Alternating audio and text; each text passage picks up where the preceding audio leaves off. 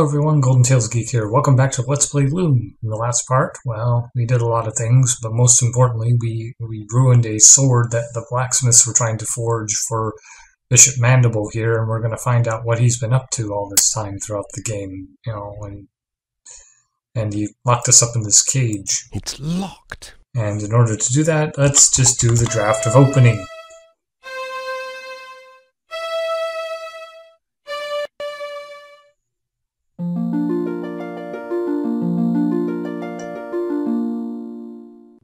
You? An elusive breed, these weavers. Fortunately, however, they're quite helpless without their weaving sticks. That distaff will never work for you. Oh, no, my young friend, you're quite wrong about that. Come, let me show you why. Consider the common graveyard. There, the boundary between the living and the dead is mm, indistinct. Every graveyard's like that. So? Now, imagine what might happen if this delicate boundary were to be somehow breached. Torn open, so to speak. It's not that simple. You can't just rip the pattern apart like an old rag. But it is that simple, my boy, and I can. I have only to lift this rod, and the legions of the dead will stream forth onto the plain of the living. A vast army of the dead, nourished by the shepherd's flocks, armed by the artisanship of the blacksmiths, guided by the glassmaker's sphere. All under the spiritual leadership of one supreme commander, me! The final hour is now at hand. The age of the clerics is upon us. If you say so. I have preparations to attend to, Cobb. Don't let this boy out of your sight. He is to touch nothing. You understand me? Perfectly, Your Excellence. Lord Mandible, ruler of the universe. Mm, I do like the sound of it. I'll have to change my stationery. Classy as ever. You're not so dangerous now then, are you? Oh, there's still some danger ahead. For you, anyway. She looks hungry. I think I'll stay out of her way. Anyway, this is Cobb here. Going somewhere, Weaver boy? You might actually remember him from my Monkey Island Let's Play, who was actually advertising this game, in the, and I wasn't really intending for it to, to be a kind of this game to be a bit of a callback to my Monkey Island LP, but oh well, so be it.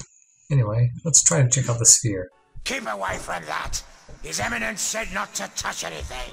I wasn't gonna touch it. Just looking, Cobb. That's all. Just looking, eh? Well then, perhaps we can do a bit of a trade. How about I let you look in the sphere if... If... what? Well, the legends say that to gaze upon an uncloaked weaver brings death. Naturally, we clerics aren't given to such silly superstitions, but I'm curious. Let's answer this one once and for all, shall we? No! May we have some quiet, please? I can't even begin to invoke the dead with all that screaming. Well, he can't say he wasn't warned. Yeah, I mean, if you remember a few parts ago when Bishop Mandible, I mean, not Bishop Mandible, Master Good Master Goodmold from uh, the Glassmakers actually asked Bobbin if that was true, and he said, "No one's ever tried it with me." It was kind of setting up this particular scenario. Rather blatant foreshadowing, if you really think about it, but still pretty effective nonetheless. If anyway, now coming up, there's some really graphic stuff that's going to go down with uh, Bishop Mandible. You'll see in a moment, but it it was pretty intense the first time I saw it. It kind of freaked me the fuck out excuse my language, but that's exactly how I felt. I was like, holy crap, crap, shit just got real. But, you know, anyway, let's head up here and we'll talk to Mandible here. I see Cobb has been lax in his duty. No matter. You're just in time to witness the dawn of a new era. You don't have the slightest idea of what you're doing. The pattern is already worn and frayed. If you rip a hole in it now, the consequences will be beyond anything you can imagine. Spare me your Weaver mysticism, boy. The time has come when the dead shall no longer envy the living.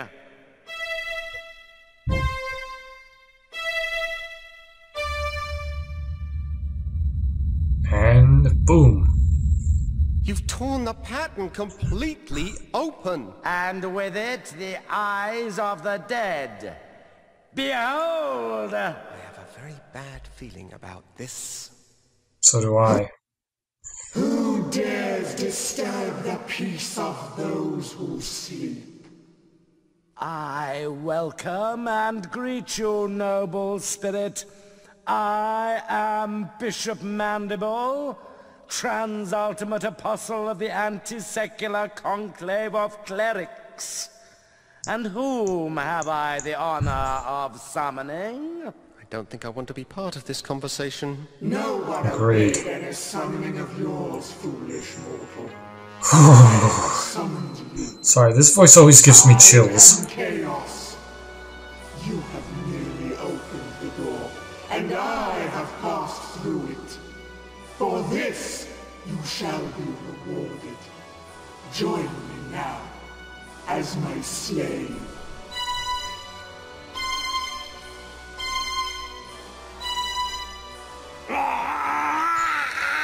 See? Blam! I see it has been much too long since my last visit. Yeah, he's just the chaos just completely and utterly rips him apart. And his head goes flying. I mean that that scared the shit out of me when I was a kid. And his her voice certainly didn't help matters. It was like voice of the Legion or something. I can't seem to hold on to this thing. Yeah, I know, right? Anyway, uh oh, the beast, uh, the the bishop's pet beast has escaped. I guess before we go, we can uh, before we try to escape completely. Let's check into the sphere here.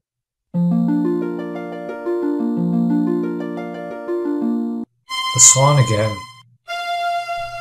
That means she must be getting closer.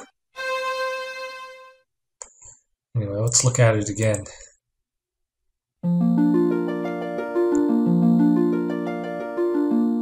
Some kind of roast chicken. That doesn't seem to bode well. Let's check this. A black feather. That doesn't bode well either. Oh well. Let's let's head back out here and try to develop an exit strategy. Uh oh, the beast. Or some kind of dragon.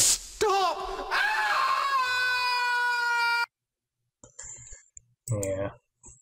Anyway, now we find we're outside the pattern. and There's holes. I think I'll stay out of there. That dragon looked rather hungry. Now this is kind of cool, actually. Like you can use the closing draft to seal up these holes here.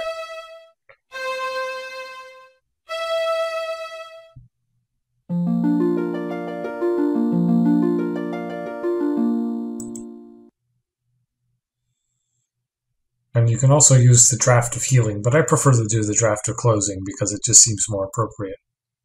Anyway, let's check out what's going on here. Rusty? Is that you?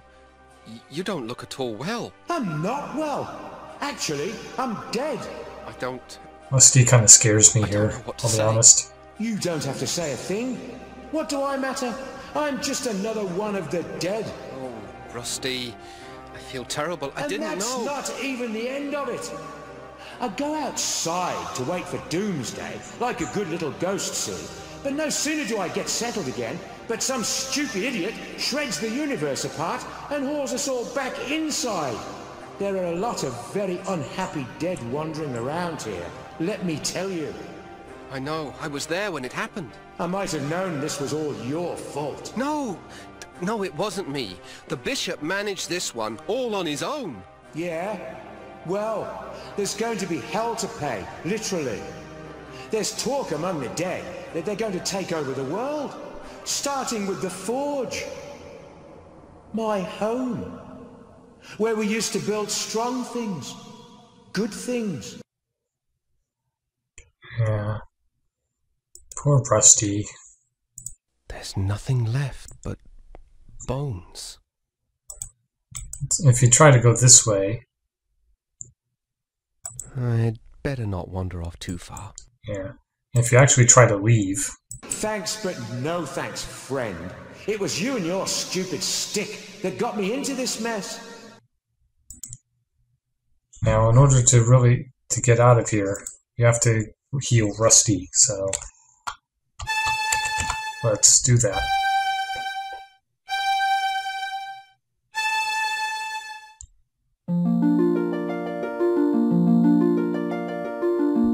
Did it. You brought me back. It is what you wanted, isn't it? Believe me, being alive is a lot more fun than being dead. But how did you do it? Well, healing your body was easy. You're alive because the pattern is torn and your soul was free to return to this side. Well, I must go, Bobbin. I've got to know what happened to the rest of my guild. And I must do the same. Good luck, Rusty. And be careful. Good fortune to you too, my friend. Yeah, let's head back outside to the outside the pattern and continue on, shall we? Let me see. There we go. And we'll just be sealing up some holes as we go.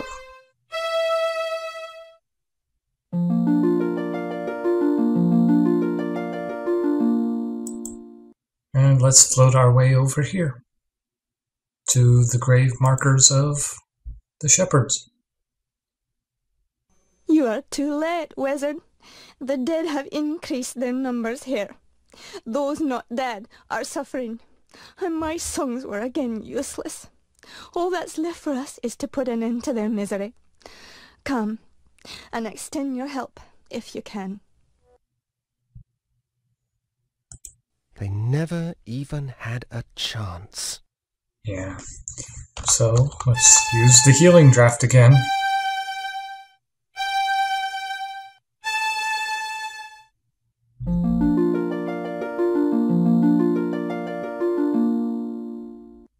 Fleece, what became of us?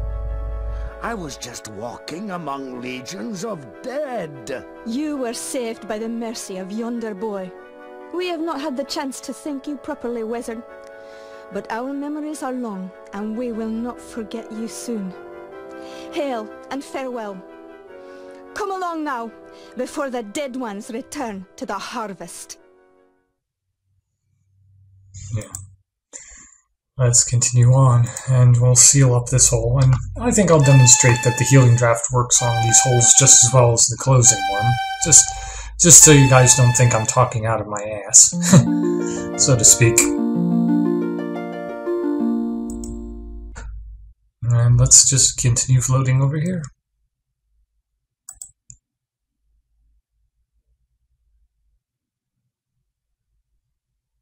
And we'll float down here and Oh my god, it's Master Goodmold.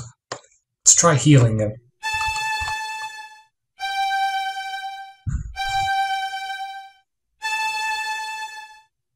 Master Goodmold. Ah, the Weaver boy. At least you've escaped the terror of the Dead One. It appears the Crystalgard has not been so fortunate. But I don't understand. Why did you not use the Great Scythe? Uh, we never doubted the scythe could save us. No, never, no indeed. Even chaos must fall under its blade. But we could not do it. To unleash such merciless evil would show us to be no better than our enemies. The entire world would have feared us when it was done. And to have become so much like our enemy was unthinkable. Just unthinkable. And so you didn't use it. We knew the price. The best we could hope for was to defend it bravely. But we are not warriors. You mean... Chaos stole the scythe? We did what we could, but it was not enough. I guess destroying the scythe would have been out of the Remember question. us, my young friend. tell the word. But we fought with courage and chose death with clarity. Above all else, clarity. I always felt sad at this part, seeing Master Goodmold die. It actually brought a tear to my eye the first time I played this game because I was like, "Oh, I liked that guy." And actually, and if you actually try to heal him in the in an earlier version of the game, he's like, "Save your magic for the dead ones, Weaver boy." So basically, he's saying, "No, my, you know, I, I'm I'm beyond all help." Now, I'm not going to seal that hole up just yet, so so we're just going to keep floating our way through uh, through here, and we're going to head over here.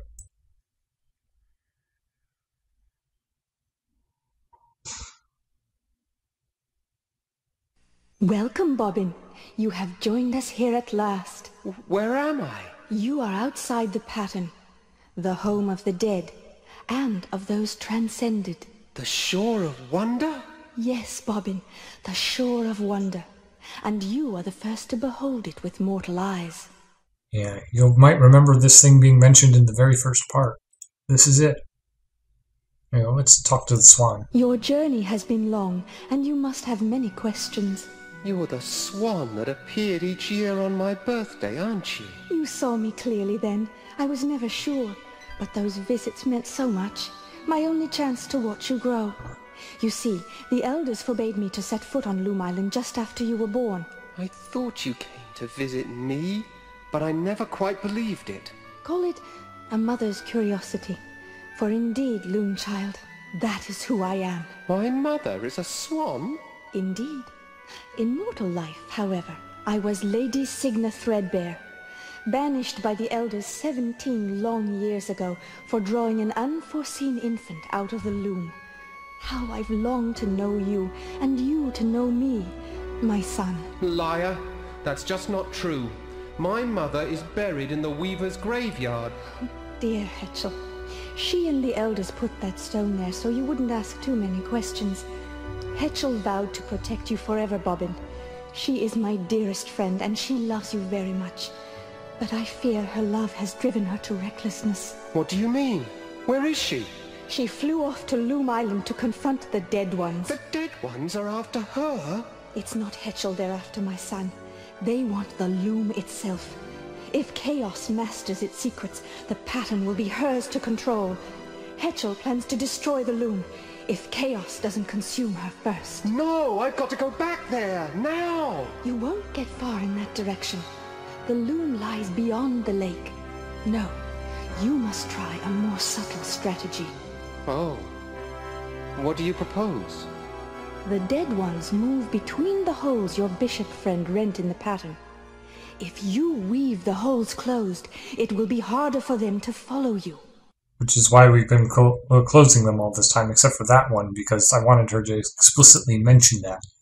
And if you try to uh, float over to the to this, All of the holes must be sealed before you dare approach the loom. So yeah, and there's some dialogue that's actually cut out that where if you, as you seal the holes and stuff, you can actually hear her saying, "Excellent, my son, you're doing great. You just got a couple more to do," you know, and that kind of thing. You know, just basically trying to give you like way to kind of keep you going and stuff. And, I think that's kind of really cool that they recorded it, even if oh, it's not in the finished game. Anyway, let's seal this thing up. Oh, wrong. Let- Let's not enter Crystalgard anymore and we'll we'll use the song of heal, the draft of healing again.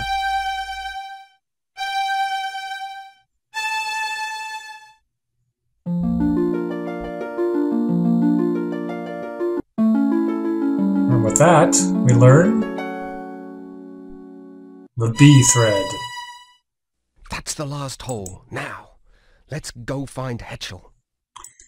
And let's let's float our way back to uh, well, float our way back here to um, the shore of wonder here, and I'll we'll call it for the.